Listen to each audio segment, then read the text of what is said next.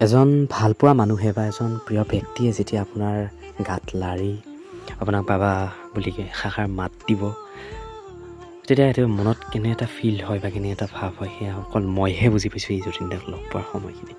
বলকচোন ভিডিঅ'টো আৰম্ভ কৰোঁ প্ৰথমৰ পৰা। নমস্কাৰ সকলোকে মোৰ চেনেললৈ প্ৰথমেতো আপোনালোক সকলোকে স্বাগতম জনাইছোঁ। এনেকৈ থাকোঁতে আহি পাল ৰাঘৱৰ গাড়ীখন। ফূৰ্তি লাগি গ'ল বোলো। যতীন বৰা এইখনত আহিছে চাগে। কিন্তু পিছত গম পালোঁ যতীন দা সেইখনত অহা নাই। যতীন দা বেলেগকৈ আহিছে মানে। যতীন দা এখন বেলেগ গাড়ীত আহিছে।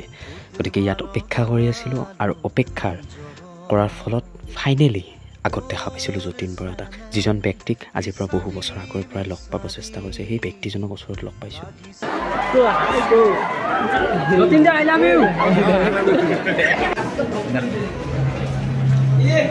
এইফালে যতীন দা আহিছে।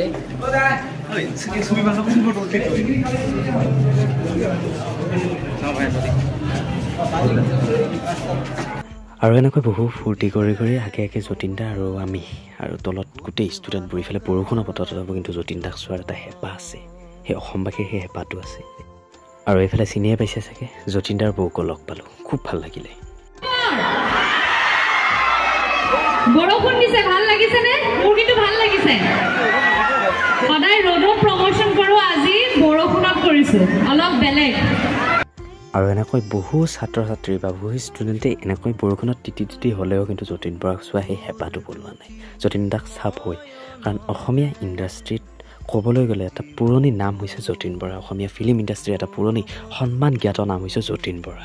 আৰু দাদাক দাদাৰ ফিল্ম ইমানেই ভাল লাগে আমি মানে অসমী অসমবাসী আমাক প্ৰকাশ কৰিব নোৱাৰোঁ বহুতে ট্ৰল কৰে বহুতে আমুক তামুক কয় কিন্তু মোৰ মনত বা বহুতৰ অসমবাসীৰ মনত কিন্তু দাদাৰ ফিল্ম সদায় সদায় আজি এটা অন্য এটা ব্যতিক্ৰমী ৰূপত থাকিব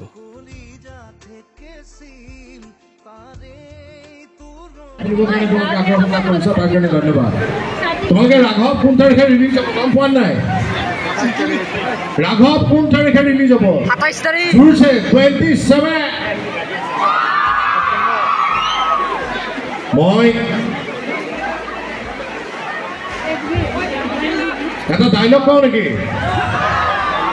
ৰাঘৱৰ এটা ডাইলগ কওঁ ৰাঘৱ ৰিলিজ হ'ব সাতাইছ অক্টোবৰ অসমৰ বিভিন্ন চিত্ৰগৃহত আমি প্ৰচাৰ চলাই আহি আহি এইখন কলেজত মই প্ৰথম আহিছোঁ আৰু পৰিৱেশটো দেখি ভাল লাগিছে সকলোৱে ছাঠি লৈছে যদিও আমিও ছাঠি লৈছোঁ কিন্তু তিথি পেলাই আমি ৰাঘৱৰ কথা কৈছোঁ তোমালোকে শুনিছা এবাৰ ৰাঘৱৰ কাৰণে এটা চিঞৰ মাৰি দিয়া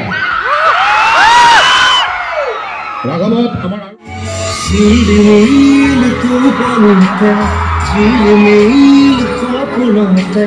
আজুৰি আনিব বিচাৰো তোমাৰ মনত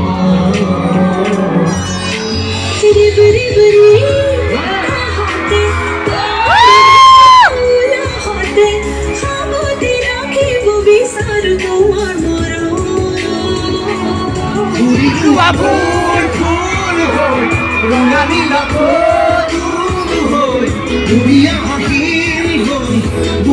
হৈ প্ৰতিদিনে বুকুলৈ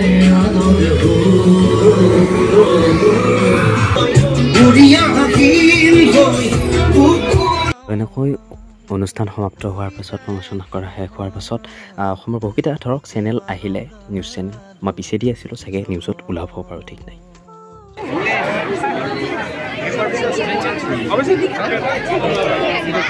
আৰু এনেকৈ দাদা যাবলৈ ওলাইছিলে মাত্ৰ কিন্তু ইয়াতে হৈ গ'ল আচল ঘটনাটো মানে মোক সেই মৰমৰ মাত এষাৰ দি তেতিয়ালৈ পাবা বুলি কৈ মানে কেনেকুৱা প্ৰকাশ কৰিম মই